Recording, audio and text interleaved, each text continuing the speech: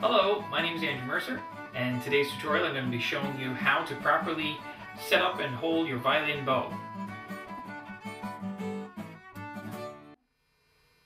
Now as you can see, I'm actually here in front of a mirror. Uh, a mirror can be a really good tool for when you're practicing. You, uh, it's going to let you see how you look from you know, from another angle, it's really difficult to to kind of assess everything as you're holding your violin in your hands if you can't actually see from another angle. So a mirror is a really good helpful tool. So I'm going to be I'm going to do this today in front of a mirror. Now the first thing, uh, just let me show you, I'm going to be showing you how to properly hold your violin bow so that you can get the, the, the best sound, the least amount, of, least amount of squeaks, the most amount of volume out of your violin as possible. So I'm going to briefly be going over how to actually set up your bow hold to, uh, to make it work best for you. Now the very first thing I want to talk about is, is uh, bunny, is a bunny. We want to we want to make a bunny hand, uh, a little bunny face head with our hands. Uh, and you can do that obviously, you can see what I'm doing here. Uh, thumb behind, and your thumb is going to contact your fingers at, or the bunny teeth, at basically around this knuckle right here, your first knuckle. And it's going to be um, roughly between the two fingers. That's roughly about where it wants to be. Not too far to the towards the index finger, and not too far towards the uh, your pinky or your fourth finger. So it's going to be somewhere in the middle. So you want to be able to make these bunny ears, and that's what's going to help us set up our bow in the first place. But before we actually get to the bow, we're going to use a pencil. Now this is a good little little tool to get you started with, and if you have any time, if you're if you're a student and you're at school, or if you're at work and and you want to just uh, spend a bit of time working on your bow hold, it's a good idea to pick up a pencil or a pen and try it out. So here's what we're going to do. We're going to take our little bunny and we're going to put the, the bow or the pencil into the bunny's teeth. Okay, so in here like this. So I think you might be able to see that from the angle. I hope you can. So our thumb is going to go on the bottom here, on the, on the bottom of our pencil. And our bunny teeth are going to wrap around. Just like we did before, we said that the, the, uh, the thumb would contact around the back of the first knuckle on your on your bunny teeth. Well, that's what's going to happen here. Our thumb's going to come around and, and on, on the back of that knuckle. So it's going to look like that. So we still have our little bunny head. And then uh, before we let our ears do their work, I'm going to talk to you a little bit about the thumb. Now the thumb, you contacts the pencil or the bow stick uh, uh, on the tip of the thumb, kind of off angle a little bit, more about right here on your thumb. Okay, so not in the dead center. It's on a bit of an angle. You can see this kind of thing. It's on a bit of an angle. And it's at the tip of your thumb. Not You don't stick your nail into the stick.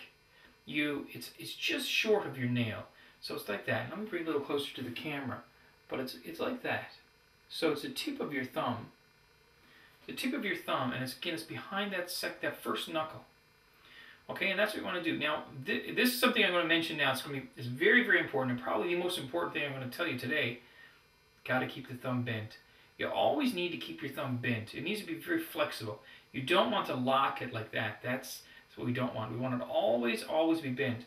And I'll be mentioning that over and over and over. You need to really keep it bent so it's pliable, it's flexible. So now we have our bunny teeth down over. These are our huggers. We're going to call these our huggers but they're, for now they're our bunny teeth. Now let's do our, uh, our index finger here. When our index finger contacts the bow stick, it contacts it around the second knuckle. Now I say around the second knuckle because everybody's fingers are a little bit different shape and length, but it's going to be somewhere around there. It's not going to be around the first knuckle, that's a little too far down, and it's certainly not going to be up near the third knuckle, that's a little too far up. So it's around the second knuckle.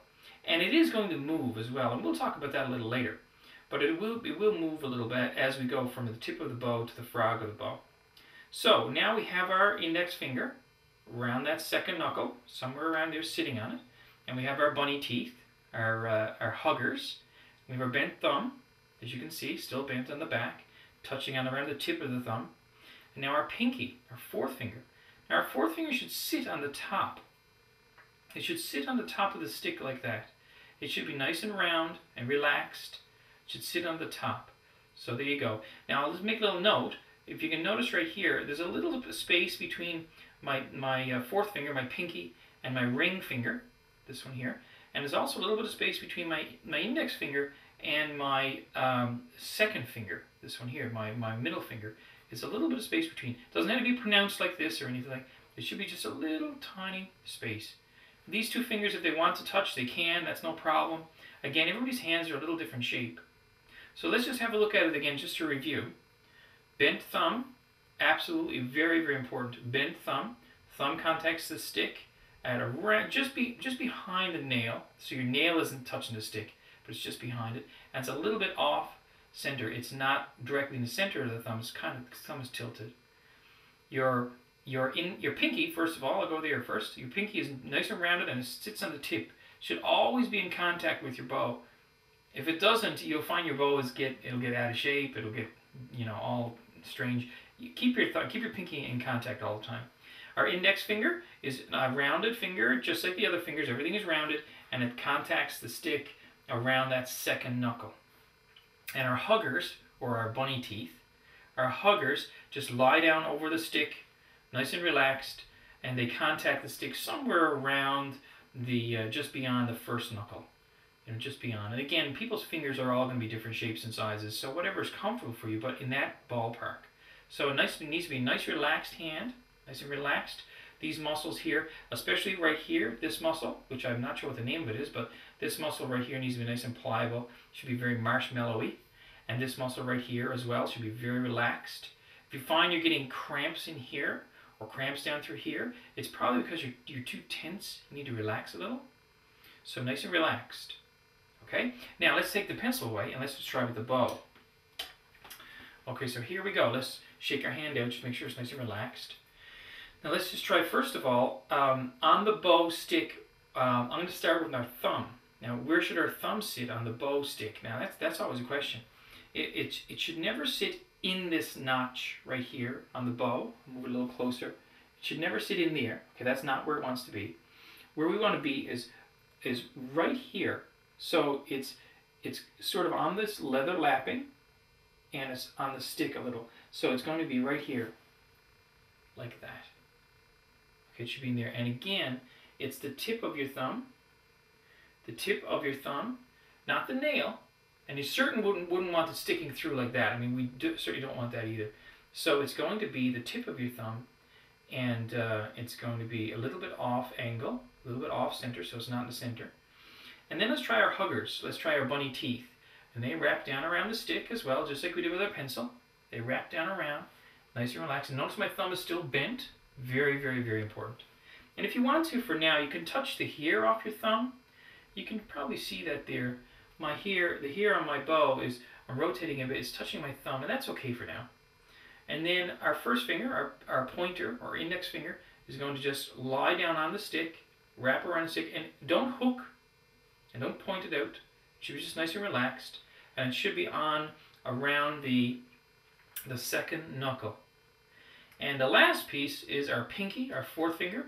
It should sit on top of the bow, just sit there, like that. And you'll notice we have a little bit of space right here between our, our uh, ring finger and our pinky, a little bit of space between our index finger and our second finger, our middle finger. And it doesn't have to be a lot of space, but you can see nice relaxed bow hand. It's a little tilted, and that's we need that, it's a little tilted. And this is going to be very flexible and pliable because as we go through our bows up and down between the frog and the heel and the, the, sorry the tip, we're going to be uh, moving our hands around. So it needs to be very pliable. And you may find that sometimes your pinky might be rather straight if you're near the tip. And when you're at the frog, it may be quite bent like this. Same with your index finger. There are times when your index finger may be quite straightened out and sometimes when it might be quite bent. So it needs to be flexible. Remember, last thing, remember that this bow, that the, the thumb should be very, very uh, curved and relaxed. Now, another thing too, I should mention, a little tip. Um, I'm holding with my left hand, and you'll see sometimes I'm resting on my shoulder.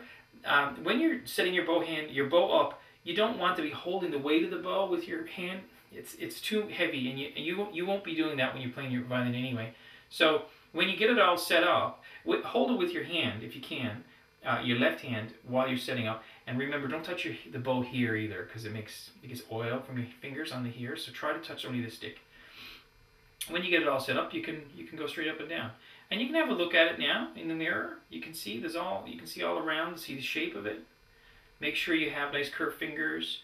Look where your, your, your index finger is resting on it so it's nice and relaxed.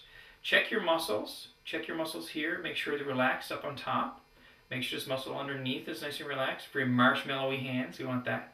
And should be nice and relaxed, nice and loose. Nice and loose. Almost like you're holding, a, you know, a, if you had like a bottle of uh, like a, a bottle of pop or a glass of water, it should be like that, holding it firmly, but but not tight. You don't want to go. You don't be very tight. It needs to be, needs to be really relaxed. So that's that's it. That's for your bow hold. Now, one last review. Um, we'll, we'll go from the thumb first. So our thumb, very, very important that it's curved and always stays curved. And you can touch the here, right here, on the on the your edge of your thumb if you want. Uh, that's okay to start out. Your thumb is actually contacting the, the bow right here, just in front of the frog, not stuck in that notch. Be careful of that. I've seen that sometimes and you don't want that. It's going to be, I, I have mine half on the lapping and half on the wood. Your hugger finger should hug down over so that your thumb is basically around the area where your uh, your first knuckle is of the two huggers, your two bunny teeth. Your, your thumb is not going to be touching it, but it should be in that general vicinity of the first knuckle. Pinky sits on top, nice and rounded, and it sits ballerina tippy toe on the very top of the stick right here, and it stays there. Keep nice and relaxed hand down through here too. And last but not least, your index finger should be contacting the stick on the lapping at around the second knuckle. And again, that'll move. It'll move as you bow. It will change around a little bit. But your fingers should be nice and relaxed. Nice relaxed wrist. So that's it. So if you have any comments or questions, please put them in the in the discussion. Uh, sorry, in the link. Uh, the links below the comment comment area. And uh, if you have any questions about anything, feel free. If you want to send me a video of your bow hands, maybe I can give you some ideas. Um, so good luck with it, and uh, and if you have any comments, put them in the in the section. I'll try to get back to you as soon as I can. Thank you, and see you next time.